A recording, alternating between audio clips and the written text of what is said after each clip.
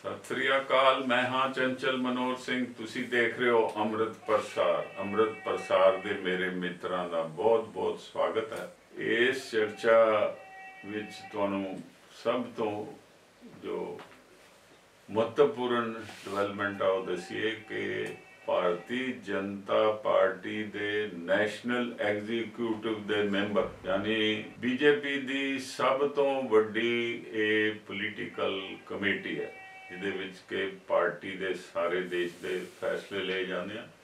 ਇਹਦੇ ਕੁੱਲ ਮਿਲਾ ਕੇ 50 ਮੈਂਬਰ ਇਸ ਕਮੇਟੀ ਦੇ ਮੈਂਬਰ ਨੇ ਮੰਗ ਕੀਤੀ ਹੈ ਕਿ ਜੋ ਖਨੋਰੀ ਮੋਰਚੇ ਤੇ ਔਰ ਸ਼ੰਭੂ ਮੋਰਚੇ ਤੇ ਹਰਿਆਣੇ ਦੀ ਪੁਲਿਸ ਨੇ ਵੈਸ਼ਿਆਨਾ ਕਾਰਵਾਈ ਕੀਤੀ ਹੈ, ਉਸ ਦੇ ਵਿਰੁੱਧ ਕੇਸ ਦਰਜ ਹੋਣਾ ਚਾਹੀਦਾ।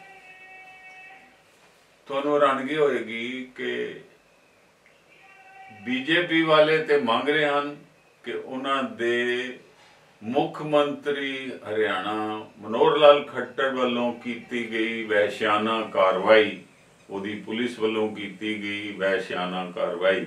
ਉੱਪਰ ਕੇਸ ਰਜਿਸਟਰ ਹੋਣਾ ਚਾਹੀਦਾ। ਜੇਕਰ ਬੀਜੇਪੀ ਦਾ ਨੈਸ਼ਨਲ ਐਗਜ਼ੀਕਿਊਟਿਵ ਦਾ ਮੈਂਬਰ ਇਹ ਮੰਗ ਕਰ ਰਿਹਾ ਹੈ, ਤਾਂ ਫਿਰ ਭਗਵੰਤ ਮਾਨ ਜੀ, ਮੁੱਖ ਮੰਤਰੀ ਪੰਜਾਬ ਨੂੰ ਢਿੱਲ ਨਹੀਂ ਕਰਨੀ ਚਾਹੀਦੀ। ਉਹਨਾਂ ਨੂੰ ਤੁਰੰਤ ਕੇਸ ਦਰਜ ਕਰਨਾ ਚਾਹੀਦਾ। ਔਰ ਕੇਸ ਦਰਜ ਹੋਣਾ ਵੀ ਚਾਹੀਦਾ, ਕਿਉਂਕਿ ਸਿਰਫ ਸ਼ੁਭਕਰਨ ਸਿੰਘ ਦੀ ਸ਼ਹੀਦੀ ਨਹੀਂ ਹੋਈ, ਉਹਦਾ ਕਤਲ ਨਹੀਂ ਹੋਇਆ। ਜਿਹੜਾ ਦੂਸਰਾ ਕੇਸ ਸਾਹਮਣੇ ਆਇਆ ਪ੍ਰੀਤਪਾਲ ਸਿੰਘ ਦਾ, ਜੋ ਸੰਗਰੂਰ ਦਾ ਰਹਿਣ ਵਾਲਾ ਹੈ, ਉਹ ਬੜਾ ਖੋਫਨਾਕ ਹੈ, ਖੋਫਨਾਕ। ਉਹਦੀ ਤਿੰਨ ਥਾਂ ਤੋਂ ਲੱਤ ਟੁੱਟੀ ਹੈ, ਅੱਠ ਥਾਂ ਤੋਂ ਉਹਦਾ ਜਬਾੜੇ ਟੁੱਟੇ ਅੱਠ। ਯਾਨੀ ਕਿੰਨੀ ਮਾਰ ਮਾਰੀ ਹੋਊਗੀ ਬੇਰਹਿਮੀ ਨਾਲ, ਨਿਹੱਥੇ ਕਿਸਾਨ ਨੂੰ, ਕਿ ਉਹਦੀ ਨੱਕ ਦੀ ਹੱਡੀ ਵੀ ਟੁੱਟੀ ਹੈ, ਉਹਦਾ ਜਵਾੜਾ ਅੱਠ ਥਾਂ ਤੋਂ ਟੁੱਟਾ ਹੈ। ਧਿਆਨ ਨਾਲ ਸੁਣੋ, ਪ੍ਰੀਤਪਾਲ ਸਿੰਘ ਦਾ ਜਬਾੜਾ ਅੱਠ ਥਾਂ ਤੋਂ ਟੁੱਟਾ ਹੈ ਖੱਬੀ ਲੱਤ ਦੀ ਹੱਡੀ ਤਿੰਨ ਥਾਂ ਤੋਂ ਟੁੱਟੀ ਹੈ ਔਰ ਨੱਕ ਦੀ ਹੱਡੀ ਵੀ ਟੁੱਟੀ ਹੋਈ ਹੈ। ਇਸ ਤੋਂ ਇਲਾਵਾ ਸਰੀਰ ਤੇ ਹੋਰ ਅਣਗਿਣਤ ਜ਼ਖਮਾਂ ਗੁੱਜੀਆਂ ਚੋਟਾਂ ਹਨ। ਕੋਈ ਸੋਚ ਸਕਦਾ ਹੈ ਕਿ ਇੱਕ ਨਹੱਥੇ ਕਿਸਾਨ ਨੂੰ ਕਿੰਨੀ ਬੇਰਹਿਮੀ ਨਾਲ ਹਰਿਆਣਾ ਦੀ ਪੁਲਿਸ ਨੇ ਕੁੱਟਿਆ। ਇਹ ਇੱਕ ਪੁਲਿਸਮੈਨ ਨੇ ਨਹੀਂ ਕੁੱਟਿਆ, ਹੋਣਾ ਇਕੱਲੇ ਨੇ। ਇਹ ਇੱਕ ਤੋਂ ਵੱਧ ਨੇ ਕੁੱਟਿਆ। ਔਰ ਇਹਨਾਂ ਦੋ ਕੇਸਾਂ ਵਿੱਚ ਐਫ ਆਈ ਆਰ ਦਰਜ ਹੋਣੀ ਬੜੀ ਲੋੜੀਂਦੀ ਹੈ।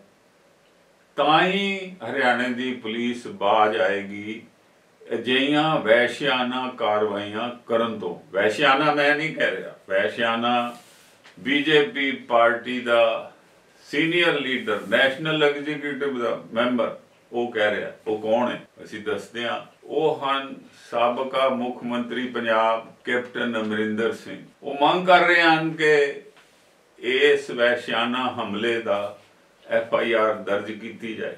ਇਸ ਦੇ ਨਾਲ ਹੀ ਬੀਜੇਪੀ ਦੇ ਪੰਜਾਬ ਦੇ ਮੁਖੀ ਸੁਨੀਲ ਜਾਖੜ ਵੀ ਮੰਗ ਕਰ ਰਹੇ ਹਨ ਕਿ ਇਹ ਜੋ ਕਾਰਵਾਈਆਂ ਪੁਲਿਸ ਨੇ ਕੀਤੀਆਂ ਹਨ, ਹਰਿਆਣਾ ਨੇ ਇਹਦੇ ਵਿਰੁੱਧ ਕੇਸ ਦਰਜ ਕੀਤਾ ਜਾਏ। ਇੱਥੇ ਅਫਸੋਸ ਦੀ ਗੱਲ ਇਹ ਹੈ ਕਿ ਜਦ ਬੀਜੇਪੀ ਵਾਲੇ ਕਹਿ ਰਹੇ ਹਨ ਕਿ ਸਾਡੇ ਮੁੱਖ ਮੰਤਰੀ ਦੀ ਜਿਹੜੀ ਇਹ ਹਰਿਆਣਾ ਦੀ ਪੁਲਿਸ ਹੈ, ਉਹਨਾਂ ਦੀਆਂ ਇਹ ਜਿਹੜੀਆਂ ਐਕਸ਼ਨ ਹਨ ਨਿੰਦਣਯੋਗ ਹਨ, ਇਹ ਕੰਡੈਮ ਕਰਨਯੋਗ ਹਨ ਅਤੇ ਕੇਸ ਰਜਿਸਟਰ ਕੀਤਾ ਜਾਏ।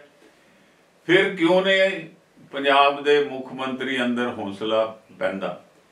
ਜੇਕਰ ਇਹ ਅੱਜ 7ਵਾਂ ਦਿਨ ਹੋ ਗਿਆ ਸ਼ੁਭ ਕਰਨ ਦੀ লাশ ਦਾ ਪੋਸਟਮਾਰਟਮ ਨਹੀਂ ਮੰਨ ਰਹੇ, ਉਹਦੇ ਘਰ ਦੇ ਫਾਰਮ ਯੂਨੀਅਨ ਨਹੀਂ ਮੰਨ ਰਹੀਆਂ। ਉਹ ਕਹਿੰਦੀਆਂ ਕਿ ਪਹਿਲੇ ਕੇਸ ਰਜਿਸਟਰ ਕਰੋ ਤੇ ਫਿਰ ਅਸੀਂ ਇਸ ਦਾ ਪੋਸਟਮਾਰਟਮ ਕਰਨ ਦੇਾਂਗੇ ਤੇ ਸੰਸਕਾਰ ਕਰਾਂਗੇ।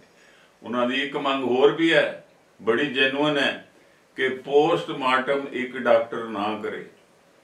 ਕਿਉਂਕਿ ਇੱਕ ਡਾਕਟਰ ਤਾਂ ਦਬਾਅ ਥੱਲੇ ਆ ਕੇ ਪੋਸਟਮਾਰਟਮ ਬਾਰੇ ਜਿਹੜੀ ਕੋਰਟ ਵਿੱਚ ਉਹਦੀ ਵਿਟਨੈਸ ਹੋਵੇ, ਉਹਨੂੰ ਅਦਲ ਬਦਲ ਵੀ ਸਕਦਾ। ਪਰ ਜੇ ਤਿੰਨ ਡਾਕਟਰਾਂ ਦੀ ਟੀਮ ਕਰੇਗੀ, ਤੇ ਜੇ ਵਿੱਚੋਂ ਇੱਕ ਦਾ ਡਾਕਟਰ ਖੋਟਾ ਵੀ ਨਿਕਲੇ ਤੇ ਬਾਕੀ ਦੇ ਦੇ ਦੇਣਗੇ, ਠੋਕ ਕੇ ਗਵਾਹੀ, ਵਿਟਨੈਸ ਬਣਨਗੇ, ਜੋ ਪੋਸਟਮਾਰਟਮ ਕਰਨਗੇ ਕਿ ਗੋਲੀ ਲੱਗੀ ਹੈ, ਕਿੱਥੋਂ ਆਈ ਹੈ, ਕਿੱਧਰ ਜਾ ਰਹੀ ਹੈ। ਸੋ ਇਹ ਬੜਾ ਜ਼ਰੂਰੀ ਹੈ। ਸੋ ਇਸ ਕਰਕੇ ਪੋਸਟਮਾਰਟਮ ਨਾ ਹੋਣ ਕਰਕੇ ਉਸ ਦਾ ਸੰਸਕਾਰ ਵੀ ਅੱਜ 7 ਦਿਨ ਲੰਘ ਗਏ ਉਹਦੀ ਲਾਸ਼ ਜੋ ਪਟਿਆਲੇ ਦੇ ਹਸਪਤਾਲ ਦੀ ਮੋਰਚਰੀ 'ਚ ਪਈ ਹੈ। ਦੇਖਦੇ ਹਾਂ, ਕਿਸਾਨਾਂ ਦਾ ਧਰਨਾ ਵੀ ਚੱਲ ਰਿਹਾ ਹੈ, ਉਹਦੇ ਮਾਪੇ ਵੀ ਬੱਚੇ ਦੀ ਅਣਖ ਲਈ ਲੜ ਰਹੇ ਔਰ ਉਹ ਵੀ ਮਨਜ਼ੂਰ ਨਹੀਂ ਕਰ ਰਹੇ ਕਿ ਵੀ ਜਿੰਨੀ ਦੇਰ ਪੋਸਟਮਾਰਟਮ ਬੋਰਡ ਵੱਲੋਂ ਨਹੀਂ ਹੁੰਦਾ ਤੇ ਐਫ ਆਈ ਆਰ ਦਰਜ ਨਹੀਂ ਹੁੰਦੀ, ਉਨੀ ਦੇਰ ਅਸੀਂ ਪੋਸਟਮਾਰਟਮ ਵੀ ਨਹੀਂ ਕਰਾਣਾ ਤੇ ਸੰਸਕਾਰ ਵੀ ਨਹੀਂ ਕਰਨਾ। ਇੱਕ ਬੜੀ ਅਣਮਨੁੱਖੀ ਗੱਲ ਹੈ ਕਿ ਪੰਜਾਬ ਸਰਕਾਰ ਇਸ ਸਾਰੀ ਕਾਰਵਾਈ ਨੂੰ ਬੇਲੋੜੀ ਜਿਹੜੀ ਇਹ ਲਮਕਾ ਰਹੀ। ਹੌਸਲਾ ਅਫਜਾਈ ਪੇਰੈਂਟਸ ਨੂੰ ਦੇ ਰਹੇ ਹਨ, ਨਾਲੇ ਉਹਨਾਂ ਤੇ ਦਬਾਅ ਪਾ ਰਹੇ ਹਨ ਕਿ ਤੁਸੀਂ ਮੰਨ ਜਾਓ ਤੇ ਪੋਸਟਮਾਰਟਮ ਕਰਾ ਲਓ। ਨਾਲੇ ਕਹੀ ਜਾ ਰਹੀ ਹੈ ਪੰਜਾਬ ਪੁਲਿਸ ਕਿ ਅਸੀਂ ਇਹਦੀ ਸਿੱਟ ਬਣਾ ਕੇ ਇਨਵੈਸਟੀ ਕਰਾਂਗੇ। ਇਨਵੈਸਟੀਗੇਸ਼ਨ ਕਰਨ ਲਈ ਸਿੱਟ ਬਣਾ ਕੇ ਬਣਾਉਣਾ ਕੋਈ ਮਾਪਿਆਂ ਤੇ ਅਹਿਸਾਨ ਕਰਨਾ ਹੈ? ਤੁਹਾਡੇ ਏਰੀਆ 'ਚ ਆ ਕੇ ਹਰਿਆਣੇ ਦੀ ਪੁਲਿਸ ਵਾਲੇ ਫਾਇਰਿੰਗ ਕਰਦੇ ਨੇ ਟੀਅਰ ਗੈਸ ਸ਼ੈਲ ਸੁੱਟਦੇ ਨੇ ਔਰ ਉਹਨਾਂ ਤੇ ਦੋਸ਼ ਲਾਇਨ ਕਿਸਾਨਾਂ ਨੇ ਕਿ ਪੰਜਾਬ ਵਾਲੇ ਪਾਸੋਂ ਆ ਕੇ ਉਹ ਕਿਸਾਨ ਚੁੱਕ ਕੇ ਲੈ ਗਏ। ਔਰ ਉਹਨਾਂ ਕੋਲ ਇੱਕ ਕਿਸਾਨ ਹੁਣ ਜਿਹੜਾ ਪੀਜੀਆਈ 'ਚ ਉਹਨਾਂ ਨੂੰ ਦਾਖਲ ਕਰਾਉਣਾ ਪਿਆ, high court the intervention Punjab and Haryana high court the intervention ਤੇ। ਉਤੋਂ ਸਿੱਧ ਹੋ ਗਿਆ ਕਿ ਉਹਨਾਂ ਨੇ ਕਿਸਾਨ ਤੇ ਚੁੱਕੇ। ਪਰ ਉਹ ਬਿਲਕੁਲ ਮਨੁੱਕਰ ਹਨ ਕਿ ਉਹਨਾਂ ਕੋਲ ਹੋਰ ਕੋਈ ਕਿਸਾਨ ਨਹੀਂ। ਪਰ ਇੱਕ ਲੀਡਰ ਦਾ ਨਾਮ ਉਹਨਾਂ ਨੇ ਦੱਸਿਆ, ਨੈਸ਼ਨਲ ਲੀਡਰ ਹੈ ਕਿਸਾਨਾਂ ਦਾ ਅਭਿਮਨਿਊ ਕੋਹਾੜ। ਇਸ ਦਾ ਪੋਜੀਸ਼ਨ ਉਹਨਾਂ ਨੇ ਕਬੂਲ ਕੀਤਾ ਹੈ ਕਿ ਇਹ ਸਾਡੀ ਕਸਟਡੀ ਚ ਹਰਿਆਣੇ ਦੀ ਕਸਟਡੀ ਚ ਹੈ।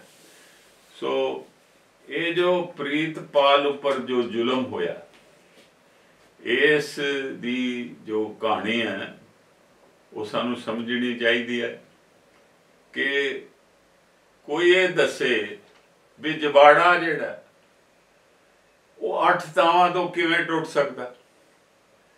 ਜਬਾੜੇ ਤੇ ਜੋ ਮਾਰ ਮਾਰੀ ਹੈ ਹਰਿਆਣਾ ਪੁਲਿਸ ਨੇ, ਉਹ ਕਿੰਨੀ ਭੈੜੀ ਹੋਊਗੀ, ਕਿੰਨੀਆਂ ਲਾਠੀਆਂ ਮਾਰੀਆਂ ਹੋਣਗੀਆਂ, ਡਾਂਗਾ ਮਾਰੀਆਂ ਹੋਣਗੀਆਂ, ਕੀ ਕੀਤਾ ਹੋਏਗਾ? ਉਸ ਬਾਰੇ ਤਾਂ ਪ੍ਰੀਤਪਾਲ ਸਿੰਘ ਜਦੋਂ ਥੋੜੇ ਜੇ ਇਹਨਾਂ ਆਪਣੇ ਇਲਾਜ ਤੋਂ ਬਾਅਦ ਮੂੰਹ ਖੋਲਣਗੇ, ਤਾਂ ਉਹ ਦੱਸ ਦੇਣਗੇ, ਇਹ ਤੇ ਗੁਪਤ ਰਹਿਣਾ ਨਹੀਂ। ਤਿੰਨ ਥਾਂ ਤੁਹਾਡੀ ਕਿਵੇਂ ਟੁੱਟ ਗਈ? ਲੱਤ ਦੀ, ਖੱਬੀ ਦੀ? ਇੱਕ ਲੱਤ ਤੇ ਇੱਕ ਡਾਂਗ, ਦੋ ਡਾਂਗ, ਤਿੰਨ ਡਾਂਗ। ਨੱਕ ਦੀ ਹੱਡੀ ਵੀ ਟੁੱਟ ਗਈ। ਸੋ ਇਹ ਜੋ ਬਾਰਬੈਰਿਕ ਐਕਟ ਆਫ ਵਾਇਲੈਂਸ ਜਿਨ੍ਹਾਂ ਨੂੰ ਕਿਹਾ ਕੈਪਟਨ ਅਮਰਿੰਦਰ ਸਿੰਘ ਨੇ, ਇਹ ਬੀਜੇਪੀ ਦੇ ਨੈਸ਼ਨਲ ਐਗਜ਼ੀਕਟਿਵ ਦੇ ਮੈਂਬਰ ਹਨ। ਦੇਸ਼ ਦੇ ਪ੍ਰਾਈਮ ਮਿਨਿਸਟਰ ਨਰਿੰਦਰ ਮੋਦੀ ਦੇ ਬਹੁਤ ਨਜ਼ਦੀਕ ਹਨ। ਹੁਣ ਪਿਛਲੇ ਹਫ਼ਤੇ ਹੀ ਮਿਲ ਕੇ ਆਏ ਨਰਿੰਦਰ ਮੋਦੀ ਜੀ ਨੂੰ ਔਰ ਕਲੇਮ ਕਰਦੇ ਨੇ ਕਿ ਵੀ ਉਹਨਾਂ ਨੇ ਦਾਵਾ ਕਰਦੇ ਨੇ ਕਿ ਉਹਨਾਂ ਨੇ ਕਿਸਾਨਾਂ ਦੀਆਂ ਮੰਗਾਂ ਦਾ ਸਮਰਥਨ ਕੀਤਾ ਤੇ ਪ੍ਰਧਾਨ ਮੰਤਰੀ ਨੂੰ ਕਿਹਾ ਵੀ ਇਸ ਨੂੰ ਜਲਦੀ ਹੱਲ ਕੀਤਾ ਜਾਏ। ਇਹਨਾਂ ਦੀ ਟਵੀਟ ਦਾ ਇੱਥੇ ਲਾਵਾਂਗੇ। ਤੁਸੀਂ ਉਹਨਾਂ ਦੀ ਟਵੀਟ ਨੂੰ ਖੁਦ ਪੜ੍ਹ ਸਕਦੇ ਹੋ। ਔਰ ਇਹ ਜੋ ਸਾਰਾ ਕੁਝ ਦੇਖਣ ਵਿੱਚ ਆ ਰਿਹਾ ਹੈ ਇਸ ਨਾਲ ਇਹ ਪਤਾ ਲੱਗ ਰਿਹਾ ਹੈ ਕਿ ਜੋ ਪੰਜਾਬ ਸਰਕਾਰ ਤੇ ਦੋਸ਼ ਲਾ ਰਹੀਆਂ ਵਿਰੋਧੀ ਪਾਰਟੀਆਂ ਵਿਰੋਧੀ ਪਾਰਟੀਆਂ ਦੇ ਲੀਡਰ, ਕਿ ਭਗਵੰਤ ਮਾਨ ਜੀ ਕੇਂਦਰ ਤੋਂ ਡਰੇ ਹੋਏ ਹਨ, ਉਹਦੇ ਪੈ ਥੱਲੇ ਹੋਏ ਹਨ, ਕਿਉਂਕਿ ਉਹਨਾਂ ਨੇ ਥ੍ਰੈਟ ਕੀਤੀ ਹੈ ਕਿ ਇੱਥੇ ਪ੍ਰੈਜ਼ੀਡੈਂਟ ਰੂਲ ਕਰ ਦੇਾਂਗੇ ਨੰਬਰ 1 ਦੂਜਾ ਉਹਨਾਂ ਦਾ ਇਹ ਵੀ ਕਹਿਣਾ ਹੈ ਕਿ ਉਹ ਕਾਫੀ ਕੇਂਦਰ ਨਾਲ ਰਲ ਮਿਲ ਕੇ ਕਿਸਾਨਾਂ ਦੇ ਪ੍ਰਦਰਸ਼ਨੀਆਂ, ਰੋਸ਼ਾਂ ਦੇ ਮਾਮਲੇ ਵਿੱਚ, ਉਹਨਾਂ ਦੇ ਧਰਨਿਆਂ ਦੇ, ਉਹਨਾਂ ਦੀ ਦਿੱਲੀ ਚੱਲੋ ਜੋ ਲਹਿਰ ਹੈ, ਉਹਦੇ ਵਿੱਚ ਕੇਂਦਰ ਨਾਲ ਮਿਲ ਕੇ ਚੱਲ ਰਹੇ ਹਨ। ਇਹ ਵੀ ਦੋਸ਼ ਲਾਇਆ ਜਾ ਰਿਹਾ ਹੈ। ਪਰ ਭਗਵੰਤ ਮਾਨ ਜੀ ਨੇ ਕੋਸ਼ਿਸ਼ ਵੀ ਕੀਤੀ ਕਿ ਜੋ ਕਮੇਟੀਆਂ ਸਨ, ਦਿੱਲੀ ਦੀਆਂ ਆਈਆਂ ਤਿੰਨ ਮਿਨਿਸਟਰਾਂ ਦੀਆਂ, ਉਹਨਾਂ ਦੀਆਂ ਚਾਰ ਮੀਟਿੰਗਾਂ ਹੋ ਗਈਆਂ, ਕਿ ਕਿਸੇ ਸਿਰੇ ਗੱਲ ਲੱਗ ਜਾਏ ਪਰ ਨਹੀਂ ਲੱਗੀ ਪਰਨਾਲਾ ਉੱਥੇ ਦਾ ਉੱਥੇ, ਜਿੱਥੇ 2020 ਵਿੱਚ 21 ਵਿੱਚ ਜਿੱਥੇ ਕਿਸਾਨਾਂ ਦੀ ਐਜੀਟੇਸ਼ਨ ਖਤਮ ਹੋਈ ਸੀ, ਤਿੰਨ ਕਾਲੇ ਬਿੱਲ ਵਿਡਰਾ ਕਰਨ ਤੋਂ ਬਾਅਦ ਗੱਲ ਉੱਥੇ ਹੀ ਖੜੀ ਹੈ। ਸੋ ਕਿਸਾਨਾਂ ਦੀਆਂ ਸ਼ਹੀਦੀਆਂ ਦਾ, ਕਿਸਾਨਾਂ ਦੇ ਪ੍ਰੋਟੈਸਟ ਦਾ ਕੋਈ ਅਸਰ ਨਹੀਂ। ਦੇਸ਼ ਦੇ ਪ੍ਰਾਈਮ ਮਿਨਿਸਟਰ ਨਰਿੰਦਰ ਮੋਦੀ ਜੀ ਤੇ ਉਹਨਾਂ ਉੱਪਰ ਦੇਸ਼ ਦੇ ਕਈ ਲੱਖ ਆੜਤੀਆਂ ਦਾ ਦਬਾਅ ਹੈ, ਉਹਨਾਂ ਉੱਪਰ ਦੇਸ਼ ਦੇ ਦੋ ਵੱਡੇ ਘਰਾਣੇ ਜਿਹੜੇ ਕਾਰਪੋਰੇਟ ਮੁਕੇਸ਼ ਅਬਾਨੀ, ਰਿਲਾਇੰਸ ਵਾਲੇ ਅਤੇ ਗੌਤਮ ਅਦਾਨੀ ਅਦਾਨੀ ਗਰੁੱਪ, ਗੁਜਰਾਤ ਵਾਲੇ, ਅਹਿਮਦਾਬਾਦ ਚ ਉਹਨਾਂ ਦਾ ਹੈੱਡਕੁਆਟਰ ਹੈ। ਇਹਨਾਂ ਸਾਰਿਆਂ ਦਾ ਇੰਨਾ ਦਬਾਅ ਹੈ ਕਿ ਮੈਂ ਮਿਨੀਮਮ ਸਪੋਰਟ ਪ੍ਰਾਈਸ ਨਹੀਂ ਦੇਣੀ। ਹੁਣ ਕਿਸਾਨਾਂ ਦਾ ਜੋ ਮਾਮਲਾ ਹੈ, ਇਹਦੇ ਬਾਰੇ ਚੀਫ ਸੈਕਟਰੀ ਪੰਜਾਬ ਨੇ ਇੱਕ ਚਿੱਠੀ ਲਿਖੀ ਹੈ। ਚੀਫ ਸੈਕਟਰੀ ਹਰਿਆਣਾ ਨੂੰ। ਉਹਦੇ ਵਿੱਚ ਇਹ ਮੰਗ ਕੀਤੀ ਹੈ ਕਿ ਪ੍ਰੀਤਪਾਲ ਸਿੰਘ ਦੀ ਦਾ ਪੋਜੀਸ਼ਨ ਪੰਜਾਬ ਸਰਕਾਰ ਨੂੰ ਦੇ ਦਿੱਤਾ ਜਾਏ ਅਤੇ ਜੇਕਰ ਉਹਨਾਂ ਦੇ ਕਬਜ਼ੇ 'ਚ ਹੋਰ ਕੋਈ ਵੀ ਕਿਸਾਨ ਲੀਡਰ ਹੈ ਤਾਂ ਉਸ ਨੂੰ ਛੱਡਿਆ ਜਾਏ ਤੇ ਉਸ ਬਾਰੇ ਦੱਸਿਆ ਜਾਏ। ਪਰ ਇਹ ਜੋ ਪ੍ਰੀਤਪਾਲ ਸਿੰਘ ਪੇਸ਼ ਕੀਤਾ ਗਿਆ, ਇਹਦਾ ਮਾਮਲਾ ਜਿਹੜਾ ਸੀਗਾ ਉਸ ਦੇ ਪਿਤਾ ਜੀ ਨੇ, ਦਵਿੰਦਰ ਸਿੰਘ ਹੋਰਾਂ ਨੇ, ਫਾਦਰ ਆਫ ਪ੍ਰੀਤਪਾਲ ਸਿੰਘ, ਉਹਨਾਂ ਨੇ ਇੱਕ ਹਬਿਸ ਕਾਰਪਸ ਪਾਈ ਸੀ, Punjab and Haryana high court ਵਿੱਚ। ਉਸ ਦੇ ਸਿਲਸਿਲੇ ਵਿੱਚ